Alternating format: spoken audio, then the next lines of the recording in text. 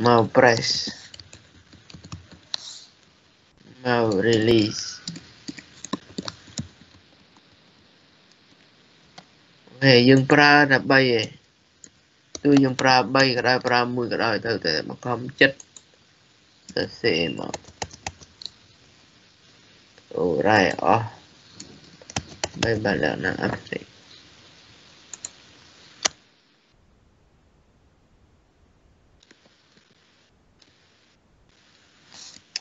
15 đặt tích phía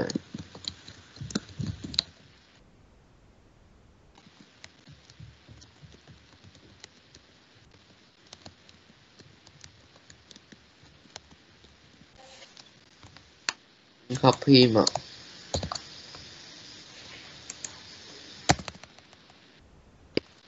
chẳng nghi nghi event không rồi vô bên tựa.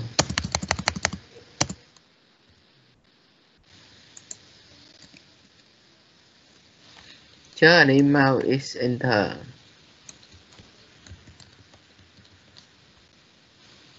មក is really exit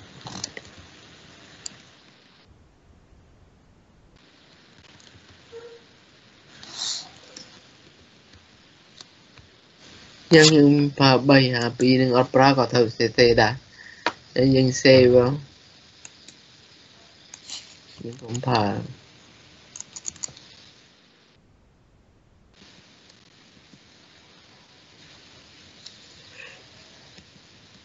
សេសេដែរហើយយើងសេបងយើងកុំប្រើអូយរើទេចាំមើលណាមូចូលណា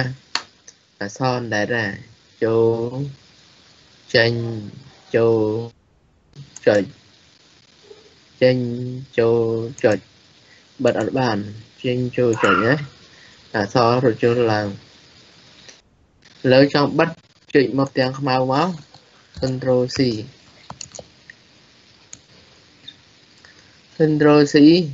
អត់បានចេញចូលចុចណាអក្សររត់ចូលឡើងលើចង់បិទចុចមកទាំងខ្មៅមក Ctrl C Ctrl C បងចង់ឲ្យបិទបានប្រើ Windows Event អញ្ចឹងបងត្រូវ add Windows Listener ណាគេអ្នកប្រើទាំង frame នឹងទៀតណា add Windows Listener this ក្នុងនេះជា object អីមើលបងប្អូនណាឆ្លើយបាន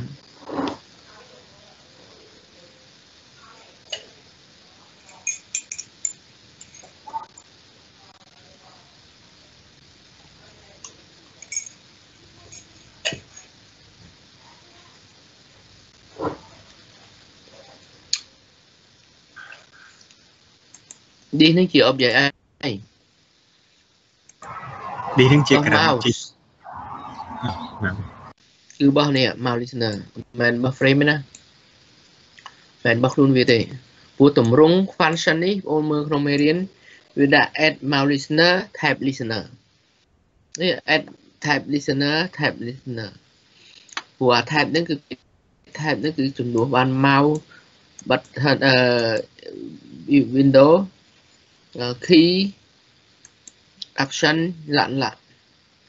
ចានេះយើងត្រូវ implement ទៅលើ interface មួយទៀតណា class មួយអាចទទួលលក្ខណៈពី class មួយគត់ប៉ុន្តែ class មួយអាច implement ទៅលើ interface មួយឬច្រើនបានទេនឹងតម្រង់តិចតិចរបស់ Cruise គឺចេញពីនេះទី1ទៅមកទី2មកកន្លែង interface ទី3កន្លែង process អឺ បងអូនណាអត់ចាំថា window listener នេះមានអីមាន method អីអូមកមើលក្នុង Java document ទៅព្រោះឲ្យអាមួយហ្នឹងគឺល្អណាស់វាដូចសភៅ100ក្បាលវាលំអិតណានៅមាន7គូចាំអស់ហើយបងអូនត្រូវចាំទាំង7យើងប្រើតែមួយឯង ប៉ុន្តែបងអូនត្រូវអូរ៉ៃទាំង7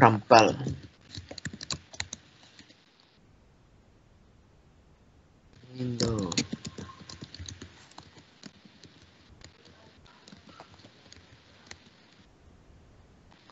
អបយាយនេនដាក់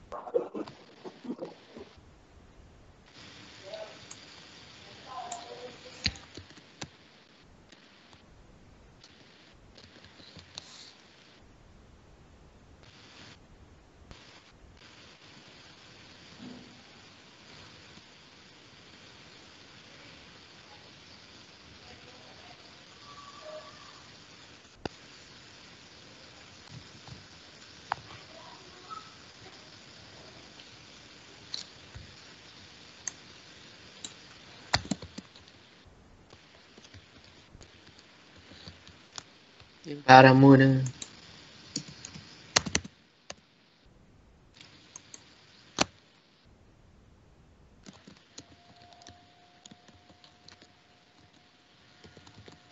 អញ្ចឹងយើងប្រើតែមួយបង្ខំចិត្តទេទាំងអស់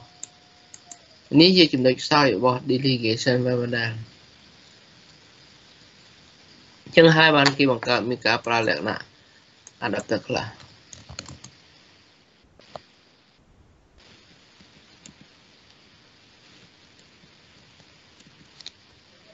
មើល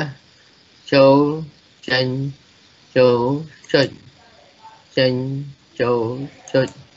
ដាក់ចេញបិទនឹងគ្រប់ចេញបានយើងមើលបានទីហោ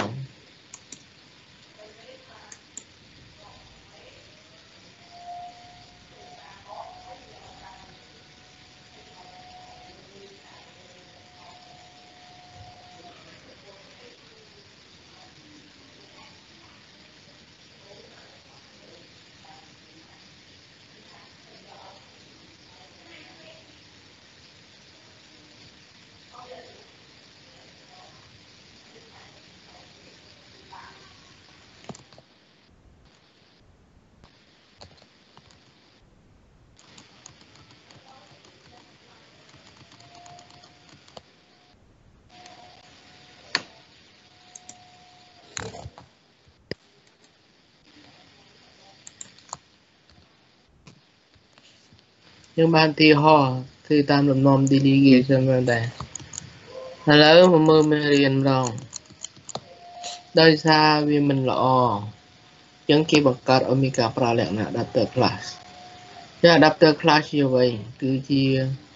លក្ខណៈពិសេសមួយរបស់ Java ដែលគេសរសេរ event បានតាមរយៈ adapter class ត្រូវគ្នាដោយបង្កើត sub class របស់វាហើយសរសេរ method ដែលយើងប្រើជាការស្រេចអូខេអញ្ចឹងគេ adapter ខ្លះត្រូវគ្នានេះគ្រូយប់មិញបានឲ្យយើងចាំលក្ខណៈ adapter ខ្លះគឺយើងមានចំនួនអឺបើថា n listener interface យើងមានចំនួន10 1 11ណាចំនួន11ហើយអឺអូនថា ពេលនៅក្នុងនេះឃើញតែ10ហើយឃើញតែ7អា4នេះបាត់តាណាអា4ហ្នឹងមកពីវាមានអាប់សេកមេសូតែមួយគត់ដូច្នេះវាអត់មាន adapter ខ្លះទេព្រោះ adapter ខ្លះគេចង់និយាយថាចាប់ពីមេសូ2ឡើងទៅហើយវាមានការប្រើមួយអត់ប្រើមួយអញ្ចឹងណាអញ្ចឹងគេអត់ចង់សេអត់ប្រើហ្នឹងមួយអាផ្សេងផ្សេងមានតែមួយហ្នឹងគឺដៃខាតយើងនឹងប្រើហើយចឹង និយាយចឹងណានិយាយកើតយើងនឹងប្រើអញ្ចឹងបែកនិយាយយើងមិនដែលប្រើមកណាត់អត់ទេមកណាត់ទេអូខេអញ្ចឹងកន្លែងនេះតម្រូវឲ្យយើងនេះប្រើ adapter ខ្លះដែលត្រូវគ្នាគឺ Windows Listener យើងប្រើ Windows adapter មក Listener មក adapter ចឹងយើងបង្កើត sub class ហ្នឹងទៅហើយទីមួយសិនតែយើងប្រើមិនអញ្ចឹងហើយហើយអត់ប្រើបាច់ទេទេ នេះលក្ខណៈ adapter ខ្លះវាល្អកន្លែងហ្នឹងអញ្ចឹងយើងកែកន្លែង model លេខ2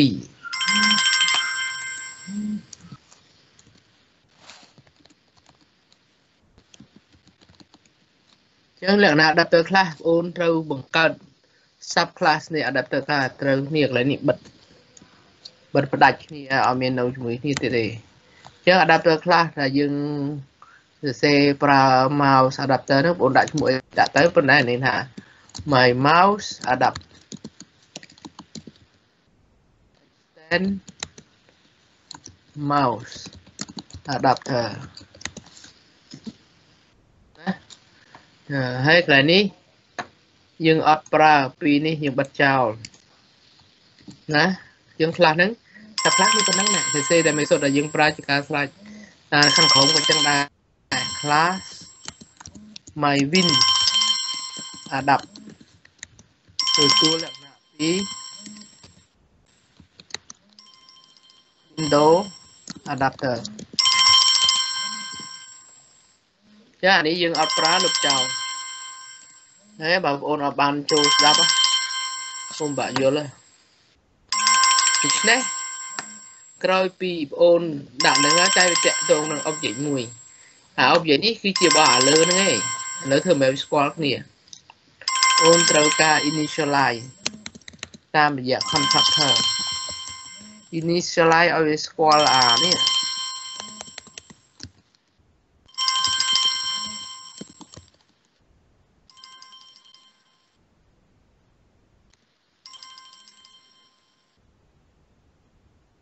រវាង ខ្លះហ្នឹងជាមួយខ្លះហ្នឹងវាស្គាល់គ្នាព្រោះវាដាច់ពីគ្នាណាអញ្ចឹងអឺ បងអូនត្រូវបញ្ជាក់ថាអានេះជារបស់ event 2ឯង my event 2ឯង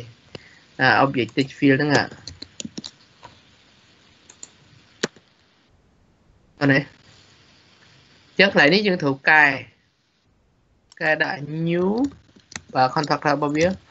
my mouse adapt this សារដែល this លើកនេះលែងជា mouse listener ទៀតហើយព្រោះយ៉ាងនេះយើងត្រូវបិទចោលយើងអត់ប្រើទៀតទេ listener interface នេះជប់ប្រើហើយកណាបងអូនប្រើត្រូវ override អស់ទៀតដែរអញ្ចឹងយើងអត់ប្រើយើងប្រើតាមនេះវិញគឺ my mouse adapt ចឹង this ហ្នឹងជំនួសឲ្យអាអា class នេះវិញជំនួសឲ្យ frame នេះយើងអត់មាន d ទេព្រោះយើង constructor អត់មានយើងប្រើ default constructor ចឹងអត់មាន this ទេណា default constructor មួយក្រុមទេអញ្ចឹងអានេះជាលក្ខណៈទី2គេហៅថាលក្ខណៈ adapter class អញ្ចឹងដែលហៅថា adapter class គឺយើងបង្កើត sub class នៃ adapter class ដែលត្រូវគ្នាហើយសរសេរ method ដែលយើងប្រើជាការស្រេចលើកលែងតែនេះ initialize តិចដោយសារតែវាឆ្លងតាក់ទងការប្រើ object របស់ class ខាងលើនោះណាអូខេ save ហើយយើង compile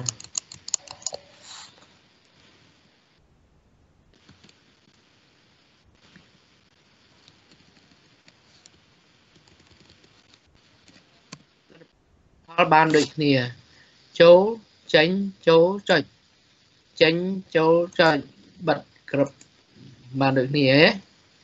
បានដូចគ្នាអញ្ចឹងនេះគេហៅថាលំនាំ adapter ខ្លះមានលក្ខណៈខ្លីជាង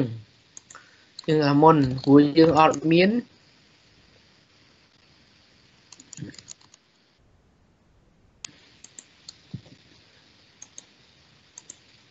យើងអត់មាន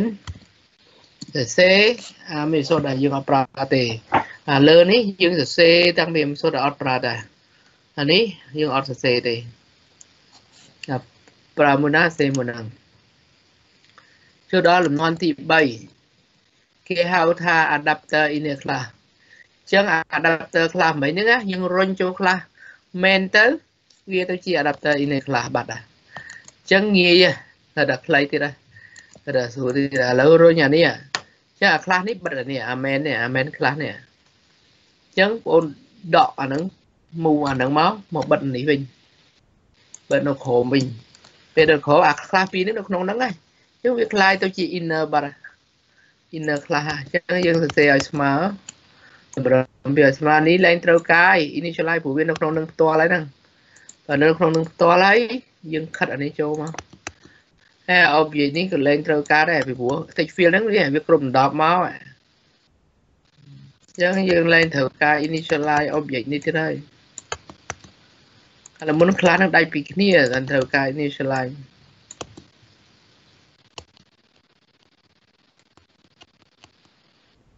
ណា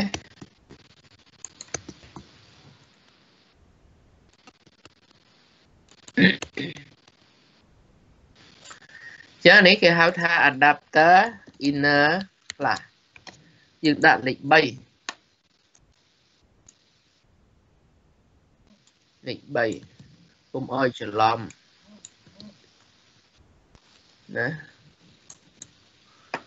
អោយច្រឡំណាអឺអូខេ save as ដាក់លេខ3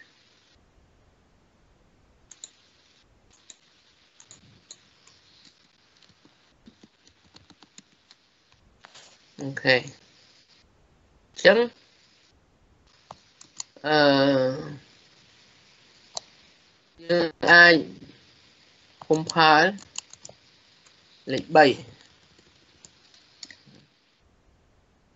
ើ ងអាច compile លេខ3អូផ្លេចកែកានេះលុបកានេះចោលព្រោះយើងអត់មានប្រើ constructor អញ្ចឹងអត់មានយើងប្រើ default ដូចអាក្រុមដែរបែបដាក់នេះណាមិនផ្លេចព្រោះយើងប្រើ default អញ្ចឹងអត់មានត្រូវការនេះទៀតទេ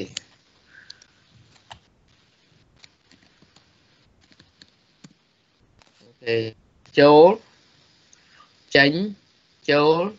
ចុច ចេញចូលចុចបិទក្រឹបហ៎ចឹងអានេះលទ្ធផលឃើញទៅសេសេលទ្ធផលដូចគ្នាសេសេខ្លីជាងនេះគេហៅថាលំនាំ adapter inner class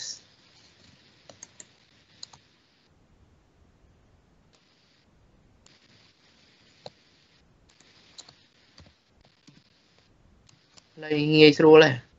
event សេ event ងាយស្រួល តមកអឺបងអាចចេមួយទៀតម្យ៉ាងទៀតគេហៅថា anonymous adapter នៅខ្លះអញ្ចឹងចប់ធំហ្នឹង anonymous អូនយកពាក្យហ្នឹងហើយគឺគេហៅថាអនាម័កប៉ុន្តែនេះយើងអត់បកប្រែអនាម័កទេពុំបកប្រែអនាម័កស្ដាប់បានទេ យើងហៅថា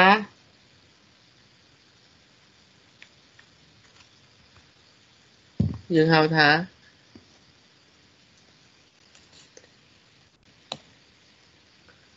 អត់ប្រើឈ្មោះ class sub class វិញមកប្រើឈ្មោះ sub class វិញអញ្ចឹងអត់ប្រើឈ្មោះ sub class ហ្នឹងមិនយើងបង្កើត sub class ដូច my win adapt ស្អីណានេះ ចឹងយកប្រើយកប្រើនឹងផ្ទាល់ហ្មងប្រើ win adapt ផ្ទាល់ហ្មង adapter ខោអញ្ចឹងគេដាក់លេខ4 4 anonymous adapter នេះខ្លះណាលេខ4ហ្នឹងអញ្ចឹងបងប្អូន technique នេះសរសេរយ៉ាងម៉េចគឺយើងកែក ន្លែងនោះយើងអត់ប្រើអញ្ចឹងទៀតទេអត់ប្រើតាមសាប់ខ្លះនេះទៀតទេបងប្រើ adapter ខ្លះផ្ទាល់ហ្មងតែបងញញែកនេះគ្នាបនេះបើកបិទណាញែកគ្នាបើកបិទឲ្យកាច់វាចុះពាក់កណ្ដាលមកដើម្បីសោកអានេះចូលអាមេសូតដែលយើងប្រើនេះមកវាដាក់ចូលខាត់ ខាត់ដាក់ចូលនេះមកព្រោះយើងអត់លែងប្រើសាក់ខ្លះនេះមកហើយសេរីវាឲ្យស្មើចូលមកស្រួលមើល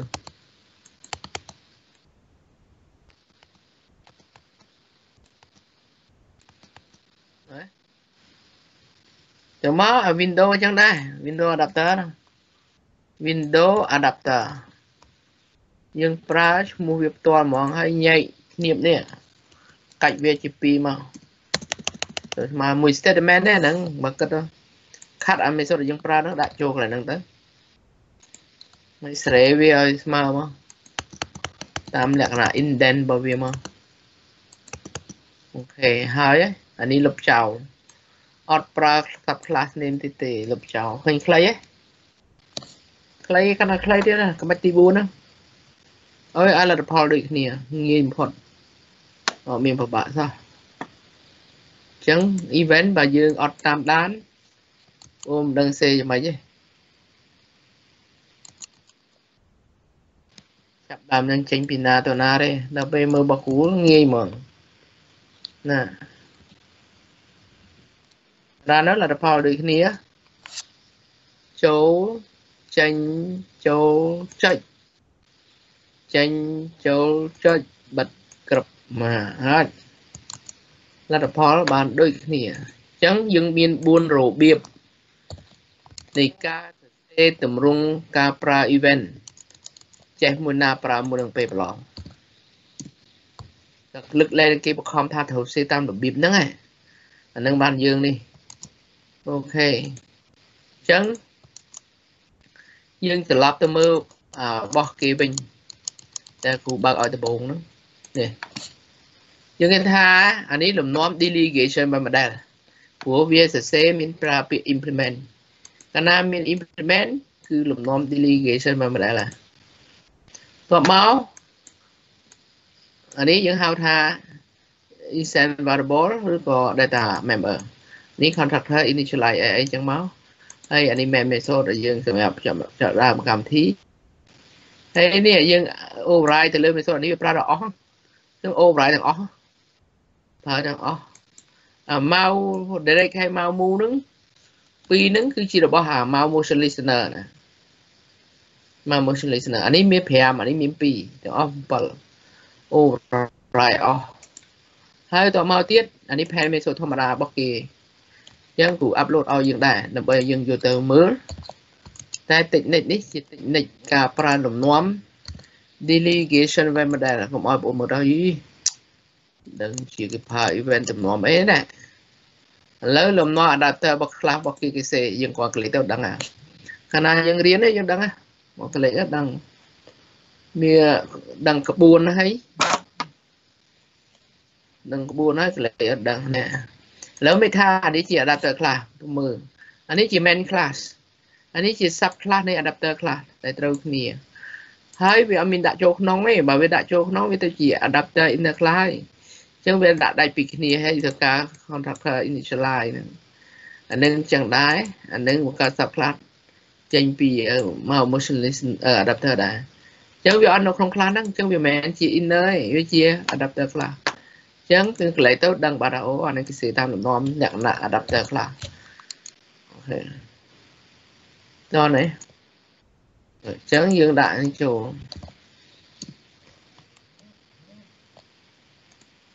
តមកទៀត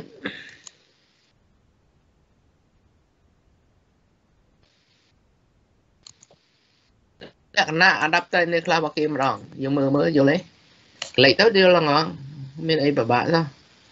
ព្រោះអីព្រោះ adapter subclass adapter class វានៅក្នុង class main នេះ class នេះជា class main ដែរព្រោះអីព្រោះមាន main method ហើយយើងឃើញថាក្នុង subclass មាន2 នៅក្នុងវា main មកបិទនេះឥឡូវចង់ដឹងថាបិទបិទបងចុចនេះមកវាឃើញវា highlight មកកន្លែងនេះហ៎កន្លែងបិទហ៎បើវា highlight កន្លែងបិទហ្នឹងហើយឃើញ main បងបាននេះឃើញ highlight បិទនេះចឹងអាពីរនេះនៅក្នុងហ្នឹងវាជា inner ហើយចឹង adapter class ដែលស្ថិតនៅក្នុង class មួយទៀតគេហៅ inner adapter inner class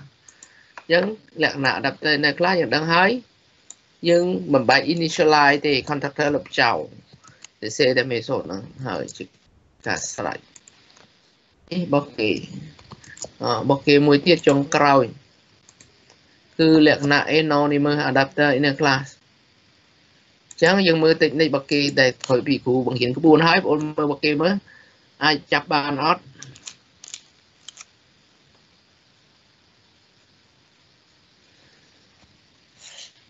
ខ្លះនេះជា sub class នៃ frame ហើយតមកគេ add listener យកហ្មងណា add port ប្រើ sub class name ឯនេះ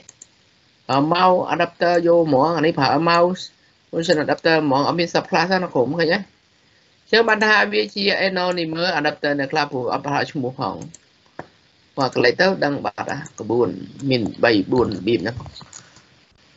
អូខេថ្ងៃនេះយើងចប់ event ដោយបរិបូរស្គូលឲ្យសុខដែរអ្នកដែលបានចូលរួមយើងចប់ចម្ពោះនេះហើយ បងអូនយកទៅមើលថ្ងៃជួបគ្នាអាទិត្យក្រោយហើយចម្ពោះទី2បងមានចម្ងល់អីអាចសួរបន្តទៀតបានមិនមែនថានេះជាចាប់ពីអាទិត្យក្រោយទៅបងមានការបង្កើតទាំង frame ទាំង window អីហូហែប្រើ button ប្រើអីពេលចុចចុះចុចឡើងមាន event ទាំងអស់ណាចាប់ពីពេលសប្តាហ៍ក្រោយទៅព្រោះយើងនៅសល់តែបើថា4សប្តាហ៍ទៀតយើងចប់ឲ្យបងឆោមទី1ហើយជោគជ័យអូខេ ហើយជោគជ័យ